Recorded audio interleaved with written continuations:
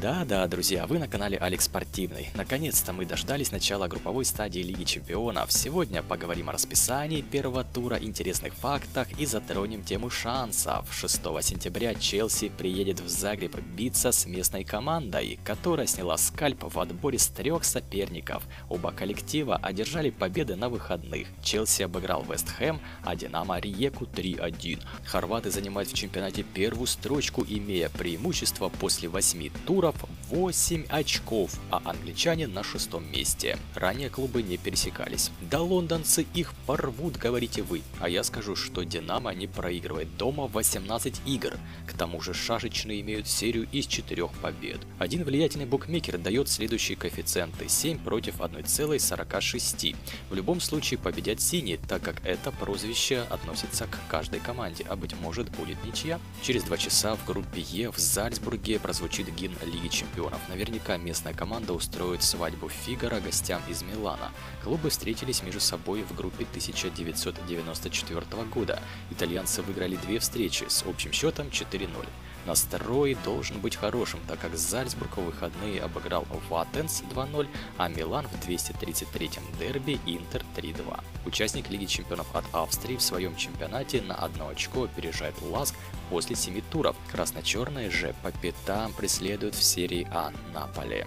Австрийский коллектив перед игрой имеет 6 побед к ряду, а итальянские коллеги 8 игр не знают поражений. Отведут ли миланцы классический австрийский десерт пуншкраффен, узнаем скоро. Букмекеры дают Милану небольшое преимущество 3,4 против 2,1. Наверное, потому что отсутствует Ибрагимович, очень близко к ничьей. Если так и произойдет, тогда у Челси будет 3 очка. Милан и Зальцбург наберут по очку, у Динамо будет абсолютный нуль. В двери стучится группа F, а я напоминаю о необходимости подписаться на другие наши каналы. На ютубе нестабильно, а там всегда вовремя найдете наши выпуски. В столице Шотландии совершит мягкую посадку действующий чемпион турнира. Команды встретились в Лиге чемпионов 80-х, но последний поединок прошел 10 лет назад, когда Реал обыграл Селтик 2-0 в товарищеской игре. В выходные бело-зеленые одолели вечного соперника Рейнджерс 4-0, а мадридцы обыграли бело-зеленый Бетис 2-1. Оба коллектива лидируют в своих чемпионатах.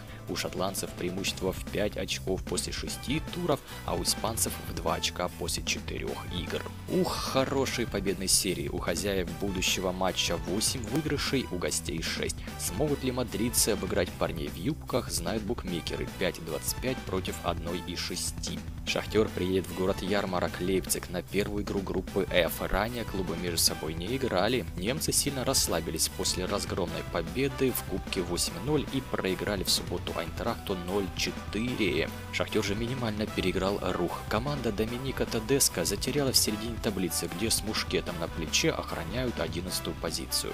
Горняки после трех туров имеют 7 очков, 2 потеряно на старте. Перед очной игрой Шахтер подойдет с серией из двух побед, а вот букмекеры явным фаворитом пары видят Лейпциг, коэффициент 1,22 против 11,5.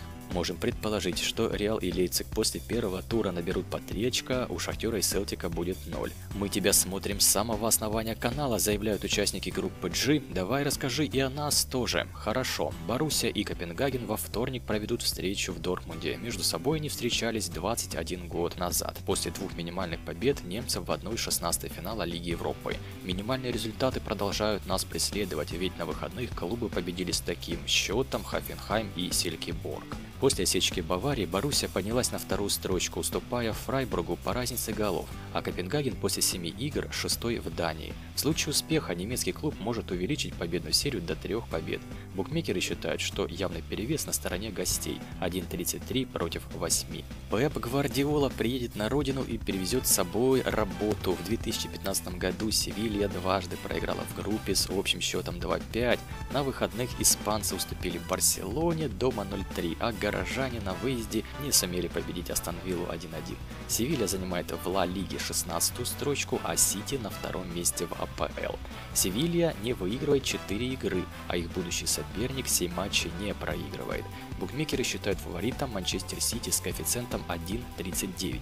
Таким образом, Манчестер Сити и Боруссия могут набрать по 3 очка, Севилья и Копенгаген окажутся внизу.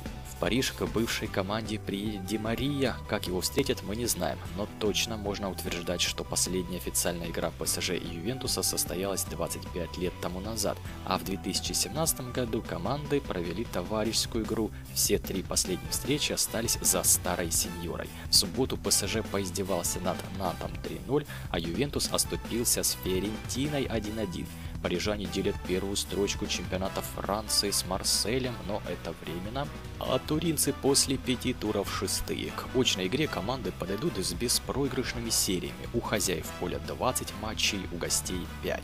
Чувствует мое сердце, что будет ничья, но букмекеры не верят в Ювентус, наградив его слабым коэффициентом 8,2. В Лиссабон через всю Европу прилетит Макаби Хайфа и впервые в истории встретится с Бенфикой. На выходных команды победили в своих чемпионатах с одинаковым счетом 2-1. Бенфика первая в Португалии, Макаби на второй строчке.